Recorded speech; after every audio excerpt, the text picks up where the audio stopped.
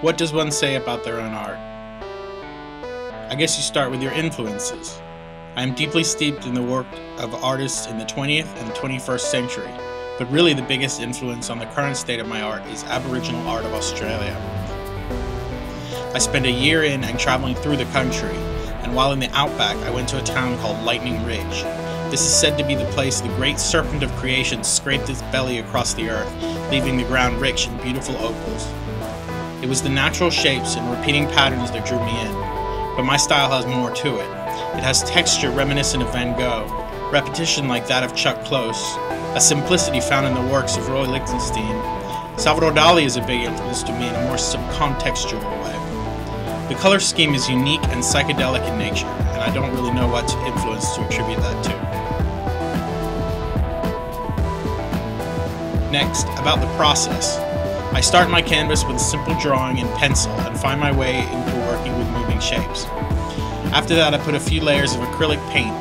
This is where the mood of the painting is born. If I'm feeling one way, it might be monochromatic and valid. If I'm feeling differently, it might have a more robust and muddled color. The next step is to add layers upon layer of puff paint, usually used for fabric, but I find this provides incredible texture that allows my work to have many dimensions to it.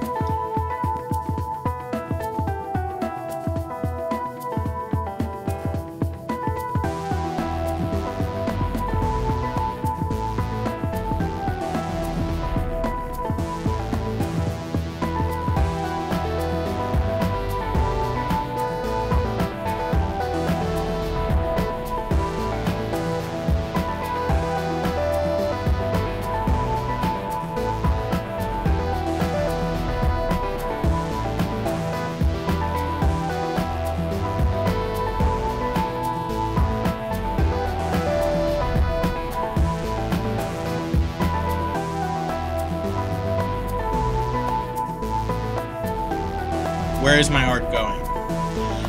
What can I say? I don't really know what inspires me to create. I know just that I have an unending desire. My paintings have in the past have had a political theme, and I see using that in the future more.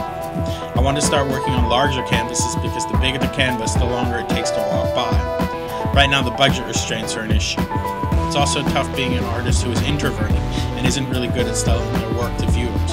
But I am undaunted in my struggle to make my artistic